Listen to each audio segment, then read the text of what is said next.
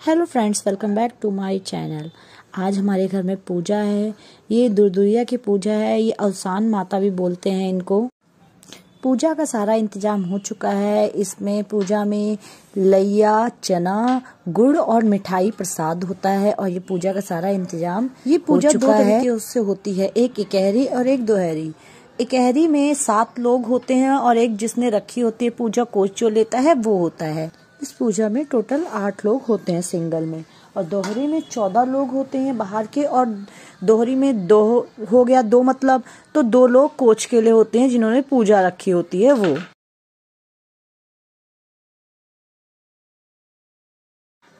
दोहरी पूजा में कोच जो है देवरानी जेठानी या सास बहू मिल के लेते हैं।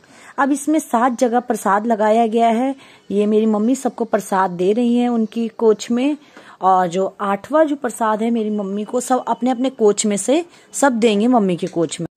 सबसे पहले इसमें सभी लोग अपने पैरों में रंग लगाते हैं और उसके बाद पूजा स्टार्ट होती है, प्रसाद दिया जा रहा है यहाँ। अब यहाँ पर सब अपने अपनी कोच में से मम्मी के कोच में प्रसाद देंगे। अब अवसान माता की कहानी कही जाएगी। अवसान माता की कहानी इस प्रकार एक राजा थे उनकी रानी के बच्चा होने वाला था। वो जा रहे थे जंगल में शिकार खेलने के लिए।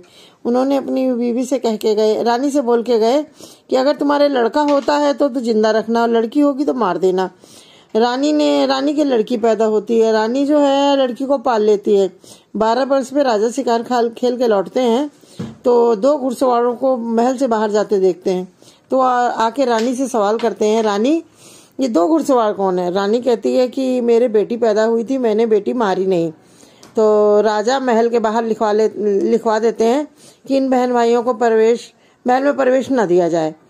इतना बोल के राजा चले जाते हैं। जब बहन भाई दोनों जने आते हैं और महल के बाहर लिखा देखते हैं तो बहन, भाई जो होता है बहन को लेकर जंगल में चला जाता है। जंगल में वो दोनों बहन भाई रहने लगते हैं। तो एक दिन बहन बोलती है, भैया, मैं अकेले बैठे बैठे परेशान हो जाती हूँ, मेरे को कुछ काम बता दो। भाई उसके लिए चिड़िया ला देते हैं।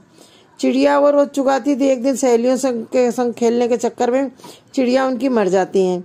इतने में जंगल में बैठी रो रही थी, तब अवसान माई उन्हें आती हैं और उनको दर्शन दे के बोलती कहती, बेटा, ऐसा करो, आप, अवसान माता की दुरदुरिया मान दो और आपकी चिड़िया ज़िंदा हो जाएँगी। वो लड़की अवसान मैया की जैसे दुरदुरिया बोलती है, तैसे ही उनकी चिड़िया ज़िंदा हो जाती हैं। फिर वो अपने भाई से कहती है, भैया, मेरे को पैसे दे दो, मुझे दूधुरिया चबवानी है। तो भैया कहता है, मैं, बेटा, एक रुपया कमाता हूँ, एक रुपया में चाहे खाना खा लो और चाहे तुम दूध कहता है, बेटा, एक रुपया कमाता हूँ, उसी में चाहे आप दूरदुरिया चबवा लीजिए और चाहे खाना खा लीजिए। तो कहती है अच्छा देखो, भैया, आपके पास पैसे होंगे तो दे देना।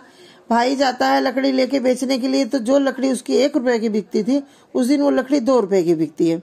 वो दो रुपए लाके अपनी भाई, बहन को दे देता है, कहता बहन, एक रुपए का खाने का सामान ले आना, एक रुपये का अपना दुरदुरिया का सामान ले आना। वो जाके सुहागिनों को न्योता करिया सास सुहागिनों का न्योता करी आती है। तो वो अपना पैसे लेके बैठी होती है, रास्ते में बारात लेके जा रहे होते हैं, उनसे बोलती, कहती, भैया, मेरी दुरदुरिया, मेरी सुहागने भूखी बैठी है, उसके लिए मुझे चना गुड़ ला दो। तो कहते हैं हाँ। तुम्हारा चना गुड़ लाएँगे, इतनी दूर तो हम काफ़ी दूर बारात लेके पहुँच जाएँगे। ये कह के वो लोग चले जाते हैं। फिर बेचारी देखती रहती है रहती रहती रस्ते में, उसे कोई नहीं दिखता। है तो एक लाश लेके जा रहे होते हैं काफ़ी सारे आदमी। तो उनसे बोलती कहती है, मेरे लिए चने गुड़ ला दो और मेरी सुहागने भूखी बैठी हैं। तो कहते हैं अच्छा लाओ, मरे हुए आदमी का भी क्या बिगड़ना है, इनको यहीं रख दो लाश और हाथ पैर धो के मैं ला देता हूँ सामान तुम्हारा। वो सामान ला के जैसे देता है, वो दूरिया करती है, तैसे उनका मुर्दा जो है राम राम करके उठ के बैठ जाता है। तो और जो बारात लेके गए थे, उनका वहाँ दूल्हा मर जाता है बारात में। वो रोते पीटते आते हैं, कहते इस लड़की ने कुछ किया। तो कहते मैंने नहीं किया, जो कुछ किया, औसान माई ने किया, मैंने कुछ भी नहीं किया। औसान माई का आप भी दूर दूर मैंने माना था, मेरा भला हुआ आप मानो आपका भी भला होगा। औसान मैया, इसी तरह सबका, औसान मैया की जो पूजा मानता है, पूजा पाठ करता है, उनकी मानता करता है, औसान मैया उनका ऐसे ही सबका भला करती है। जय औसान मैया की। सारी पूजा हो जाने के बाद चद्दर को धीरे धीरे फोल्ड करते हैं और ये गाना गाते हैं, जो गाना इस प्रकार है।